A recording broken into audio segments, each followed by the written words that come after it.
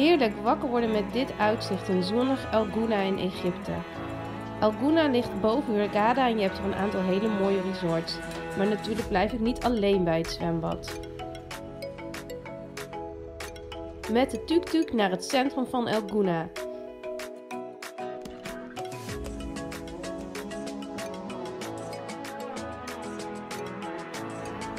In de zoek een en al gezelligheid. Dankzij de strenge regels zijn hier geen opdringerige verkopers.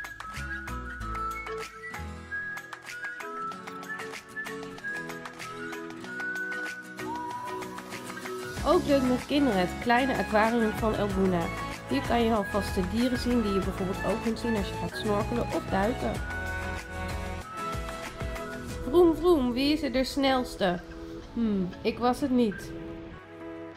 Ook leuk een poging doen om te waterskiën of een kijkje nemen bij de pro's.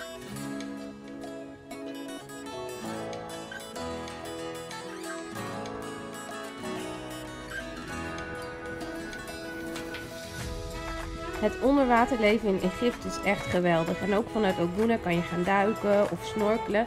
Maar ze hebben ook eh, boottochten waarmee ze op zoek gaan naar dolfijnen.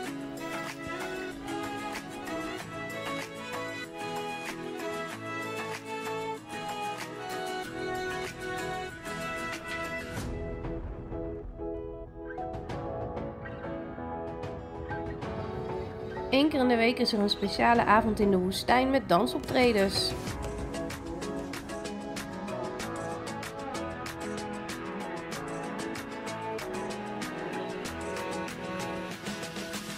In Elbuna zijn diverse kindvriendelijke hotels. Al deze hotels zijn te boeken via D-reizen en FTI-reizen. Het Three Corners Rihanna Resort Inn heeft de beste glijbanen van Elbuna. Terwijl La Branda Club Paradiso dan weer een heerlijk strand heeft.